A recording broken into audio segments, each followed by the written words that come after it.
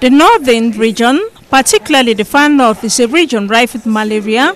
The case of last year a good example.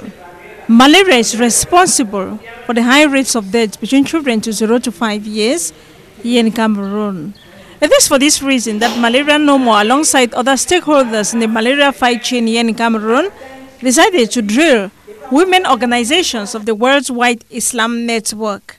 We have decided to work with OFIF because uh, we have uh, one of our targets is really Muslim women in Cameroon um, due to the, the high rates of malaria cases uh, that happened last year in the extreme north. It was essential that we we start to to have the conversation with the women.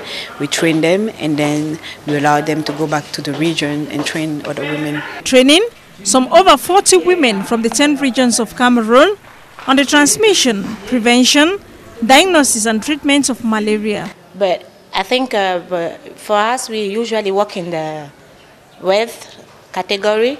So we decided to call women from different uh, regions so they can come and sit down and uh, have an introduction about what is uh, malaria, to know what is sickness the problem with malaria, the causes, how to start like a little bit at home if you have the kids, how to be aware of malaria. As women and mothers, they are the ones who can easily notice malaria attack their children. So it is important for them to know what it is all about, its manifestation amongst many. Their role is imperative.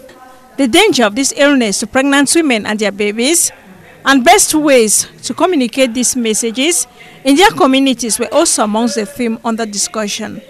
Occasion to present the Malaria No More campaign also.